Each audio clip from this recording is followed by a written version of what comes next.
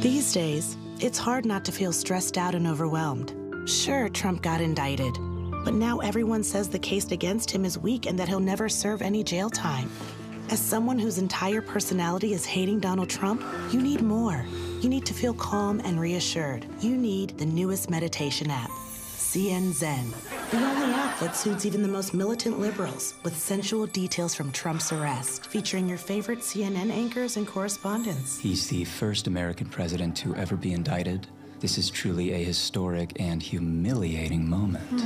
Trump is a sad, defeated man. They made him come from Florida, where it's 80 degrees, to New York, where it's only 60 degrees. How depressing for him. And his motorcade wasn't even that big.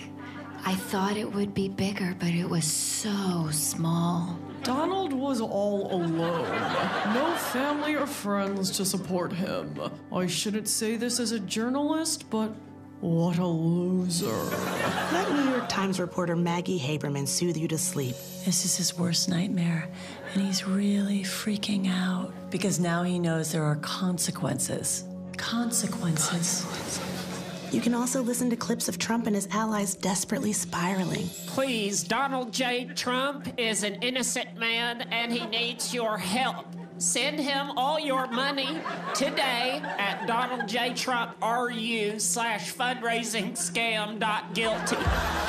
Trump's next court appearance won't be till at least December. That's why CN Zen has a whole section of Trump indictment ASMR. Can you hear him getting fingerprinted?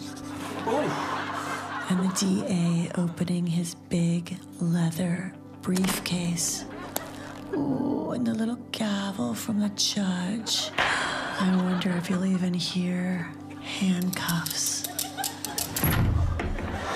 With additional in app purchases, like audio erotica of District Attorney Alvin Bragg reading all 34 felony counts. Count one, falsifying business records in the first degree. Count two, falsifying business records in the first degree. Count three, falsifying business. Hope this couch isn't as flimsy as the DA's case. CNZen, because you waited seven years for this indictment and you want every delicious detail. And what ethnicity is Trump's judge again? Hispanic. CNZen, in your mind, he's already in jail.